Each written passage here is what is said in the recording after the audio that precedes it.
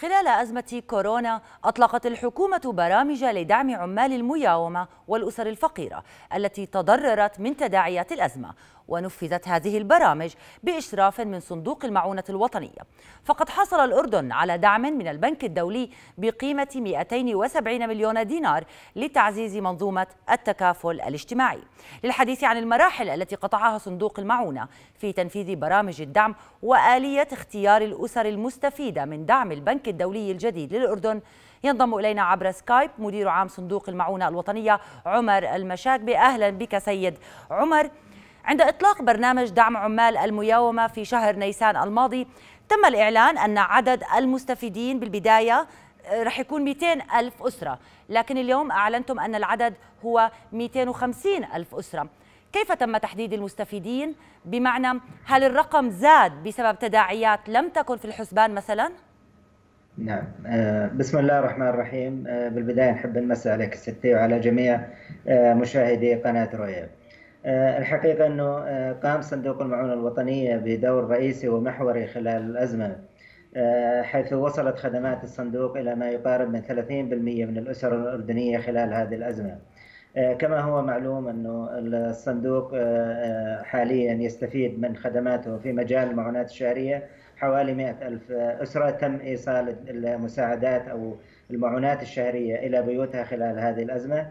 آه، أيضا هناك آه، حوالي خمسين ألف أسرة آه، تستفيد من برنامج الدعم التكميلي وأيضا تم إيصال هذا الدعم إلى مستحقيه خلال الأزمة على مرحلتين.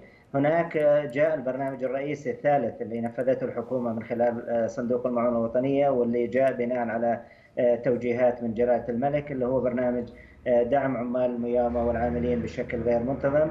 آه، في البداية قررت الحكومة أن يكون العدد آه، حوالي 200 ألف آه، أسرة. ولكن بعد بداية أو إطلاق البرنامج تبين أن هناك عدد أكبر من المستحقين لهذا الدعم وبالتالي تم رفع عدد المستفيدين إلى ما يقارب من ربع مليون أسرة. حاليا الأسر اللي تستفيد من هذا البرنامج تقريبا حوالي ربع مليون أسرة. آه، تم تنفيذ المرحلة الأولى أو آه، صرف الدعم للشهر الأول والشهر الثاني وإن شاء الله قريبا خلال آه، أسبوع إن شاء الله أو أسبوعين على الأكثر سيتم صرف الدفعة الثالثة برنامج نعم, دعم نعم إذا نعم. بعد خمسة أيام تقريبا تنتهي المرحلة الأولى أليس كذلك؟ نعم بالضبط ما هي مصادر الدعم كانت في هذه المرحلة؟ مصادر الدعم آه، جاءت على آه، أو من ثلاث مصادر، المصدر الرئيسي الأول اللي هو آه، تحويل من صندوق همة وطن. وصلنا حوالي 46 مليون تم تحويلها عن الشهر الأول والشهر الثاني. أيضا هناك 10 مليون دينار من خزينة الدولة من الموازنة العامة تم تحويلها للصندوق. وهناك أيضا 750 ألف دينار تم تحويلها من حساب الخير. هذا مجمل مصادر التمويل اللي تم تنفيذ آه، في المرحلة الأولى نعم الأولى. اليوم نعم. أعلنتم سيد عمر أن إيجاد مرحلة ثانية لنقل من برنامج دعم عمال الميومة يعتمد على الوضع الوبائي في الأردن ماذا نعم. تقصدون نعم. بذلك؟ آه، ست جميع خبراء الصحة يتوقع أن يكون هناك موجة ثانية آه، مع بداية فصل الشتاء ونهاية فصل الخريف آه، ممكن أن تكون الحكومة آه، أنها تضطر لاتخاذ آه، أي إجراءات للحفاظ على سلامة وصحة المواطنين. وبالتالي ممكن أنه يكون في هناك عدم خلينا قدرة على أنه أرباب الأسر يعملوا بشكل منتظم أو بشكل دائم. وبالتالي لابد من أن الحكومة تتخذ آه، آه، لمواجهة آه، يعني هذا أفهم الاحتمال. أفهم من كلامك سيد عمر أن البرنامج الثاني لنقول أو المرحلة الثانية هي موجودة بجميع الأحوال يعني كلمة يعتمد على الوضع الوبائي آه، آه، لا وجود لها خاصة وأن كما تقول الجميع يتوقع عن موجة ثانية. لكن تداعيات آه، هذا الوباء تداعياته الاقتصادية هي كبيرة وكبيرة جدا. وقد صحيح. تمتد لسنتين على القليلة كما يقول الخبراء. نعم. بالتأكيد صحيح إحنا لما تم تصميم هذا البرنامج أخذنا بعين الاعتبار أنه تداعيات هذه الأزمة ستستمر لفترة طويلة قد تكون عام أو أكثر وبالتالي تم تقسيم هذا البرنامج على مرحلتين.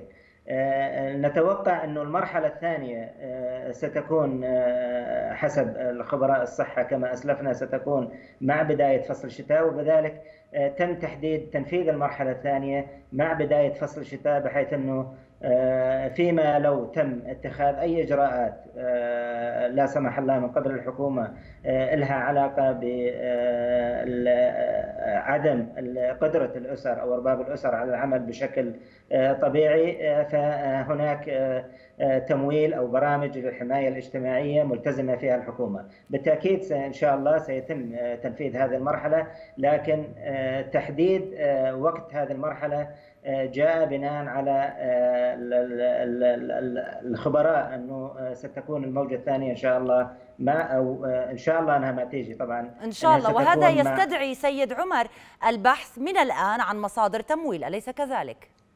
بالتأكيد وإحنا مصادر التمويل تم تحديدها من الدعم اللي سيقدم من خلال البنك الدولي وهذا جزء آه، من آه، الاستثمار إن شاء الله أو الاستثمار المبالغ التي سيتم تحويلها ستكون موجهة لتنفيذ المرحلة الثانية آه، من برنامج دعم عمال المياه. نعم، بالحديث عن البنك الدولي أعلن عن تقديم دعم بقيمة 270 مليون دينار للأردن بهدف تعزيز منظومة التكافل الاجتماعي، تقديم مساعدات نقدية لحوالي 270 ألف أسرة فقيرة في الأردن. من نعم. سيختار هذه الأسر وكيف سيتم توزيع هذا الدعم؟ آه، ست الأسر آه، يتم اختيارها من خلال آه، نظام الاستهداف المعتمد في صندوق المعونة الوطنية نعم. هذا الدعم سيوجه إلى أكثر من نشاط النشاط الرئيسي الأول توسيع نطاق استهداف الأسر المستفيدة من برنامج الدعم التكميلي حيث سيستفيد من هذا البرنامج حوالي مئة ألف أسرة إن شاء الله مع بداية آه، العام آه، القادم حاليا يستفيد من هذا البرنامج حوالي 50 ألف أسرة وبالتالي نتحدث عن مضاعفة هذا العدد إن شاء الله مع بداية آه، العام القادم سيد عمر هذه الأسر نعم. هي التي تعرف على أنها أسر فقيرة أليس كذلك؟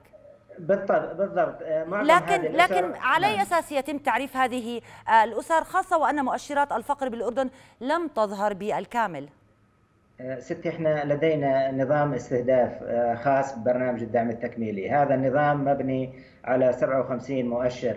آه، هذه المؤشرات هي التي تحدد مدى شدة حاجة فقر الأسرة ومدى حاجتها للدعم أو المساعدة. وبالتالي نتائج قياس آه، هذا آه، آه، البرنامج هي التي تحدد من هي الأسر التي ستستفيد من هذا البرنامج، هذا البرنامج تم تنفيذه أو البدء بتنفيذه قبل حوالي عامين.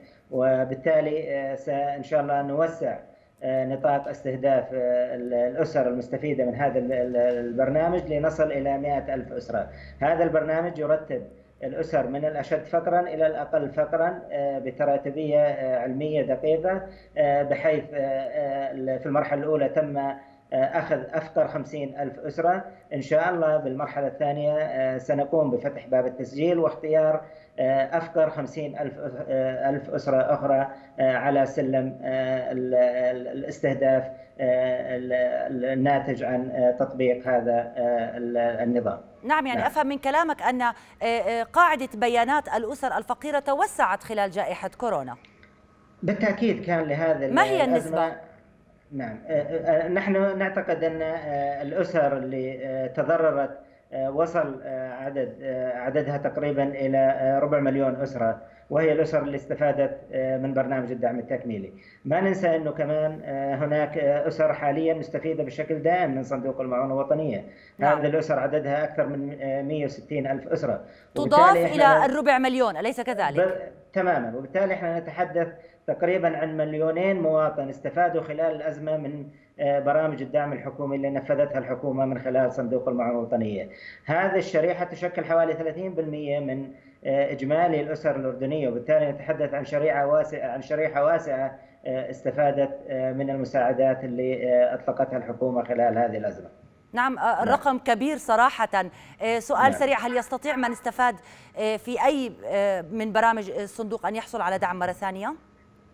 الآن الأسر اللي استفادت من المرحلة الأولى من برنامج العمال الميومة إن شاء الله سنقوم بإعادة اختبار مدى حاجة هذه الأسر قبل تنفيذ المرحلة الثانية وبالتالي إذا لا زالت مستمرة للدعم بالتأكيد سيستمر تقديم هذا الدعم لها إن شاء الله.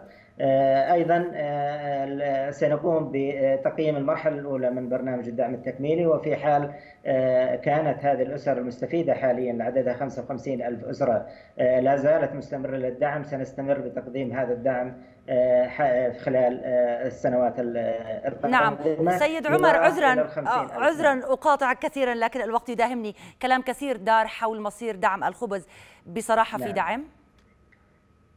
بالتأكيد دولة الرئيس أعلن بأن هناك دعم لكن متى؟ إن شاء الله أعتقد حاليا إحنا نرتب مع الحكومة بتحديد موعد مناسب لصرف هذا الدعم وأعتقد إنه لن يطول يعني إن شاء نعم. الله وبنعم ان أو نعم. لا سيد عمر هل تأثرت ميزانية صندوق المعونة بتداعيات أزمة كورونا؟ بالتأكيد الأزمة وتداعياتها أثرت بشكل كبير على موازنه الصندوق موازنة الصندوق حوالي 150 مليون أضيف لها المبالغ اللي كما أسلفت ذكرها. وبالتالي كان هناك ضغط هائل على موارد الصندوق خلال هذه الأزمة. إن شاء الله نتمنى أنه يخف هذا الضغط خلال الأشهر أو السنوات القادمة. نتيجة تحسن الظروف الاقتصادية. نتمنى أن تتحسن الظروف الاقتصادية حتى يتم تخفيف الضغط عن نعم نعم سيد عمر. قيمة دعم الخبز هل ستتغير؟ هذا يعود للحكومة. أنا لحد الآن نعم لا معلومات لديك. نعم مدير عام صندوق المعونة نعم. الوطنية عمر مشاكبة كنت معنا عبر خدمة سكايب. شكرا جزيلا لك.